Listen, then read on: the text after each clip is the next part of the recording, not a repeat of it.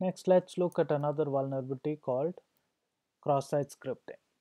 Uh, so using the same example, if you notice uh, whatever we enter in this particular field 2 comes back in the response right here.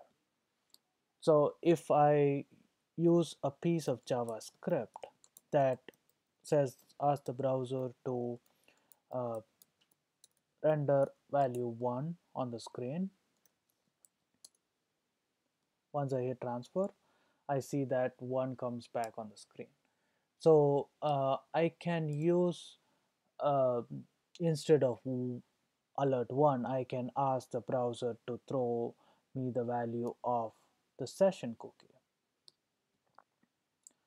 So using this attack vector uh, I can get the value of the session cookie right like that so uh, an attacker can use a different attack vector which actually asks the browser to send the cookie to his own IP uh, by using a phishing method where you can phish a user to click into that link.